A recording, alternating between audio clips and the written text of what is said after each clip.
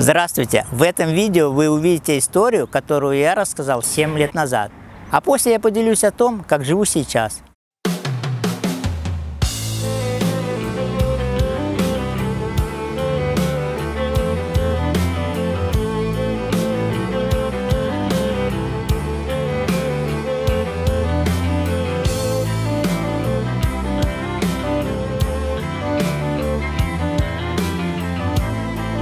Многие люди сегодня находятся в подобном положении, в кругу алкогольной зависимости, из которого, казалось бы, нет выхода.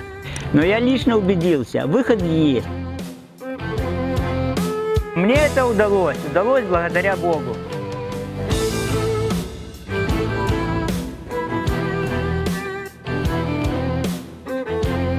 15 лет я начал пить и курить, и сам не заметил, как пристрастился к спиртному. До этого я учился на твердой четверке и пятерке, а после скатился на ди тройке, и это меня уже не беспокоило. После школы пошел работать на завод, отучился три месяца на водителя. Потом была армия, которая научила меня дисциплине и порядку.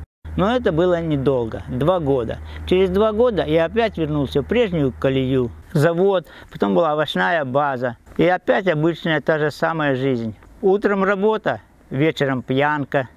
Жил в общежитии. Обстановка к трезвости не располагала. Хотя я к этому и не стремился.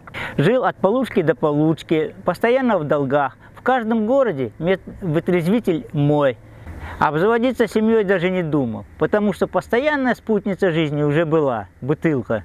В 29 лет наступил переломный момент моей жизни, в прямом и в переносном смысле. Пьяным сломал позвоночник. До травмы жил от получки до получки, после травмы от пенсии до пенсии. И так замкнутый круг.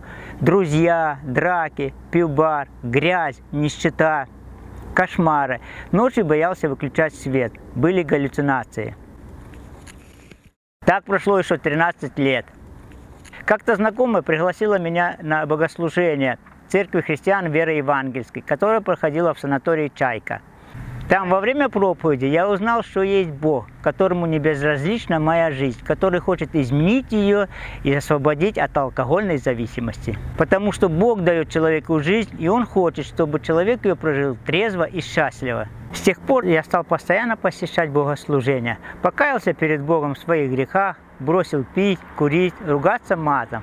Знакомые говорили мне, что это ненадолго. Не знаю, много это или нет, но такой жизнью я уже живу 10 лет. С Богом все изменилось на 180 градусов. Я трезво смотрю на жизнь, спокойно сплю, не мучают ночные кошмары. Наладились отношения с родственниками, улучшилось здоровье. И вообще, жизнь с Богом – это здорово. Он дает настоящую любовь, радость и покой в сердце все трудные ситуации с ним проходить намного легче. Сейчас при церкви существует реабилитационный центр «Иордан» для алко-наркозависимых людей. Зная не понаслышке о проблемах людей, обращающихся туда за помощью, мне не трудно понять и помочь им обрести свободу. Свободу, которую я когда-то обрел во Христе. И как говорят у нас на реабилитационном центре, слава Богу за нашего Бога, потому что если бы не Бог, то не дай Бог. Верьте в Бога и будьте счастливы.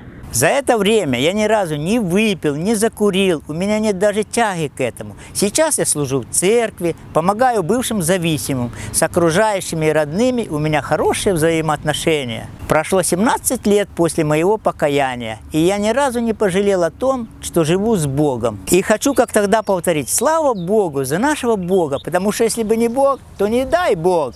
Так что там надо же такую интонацию, чтобы люди поверили, что не дай Бог, если, если не Бог, то не дай Бог. Почему? Ну, потому что, потому что без Бога никак. А что, живут же люди? Да, живут, грешат. Могут же сами бросить пить? Могут. Могут, но они только могут пить бросить, курить, а остальное.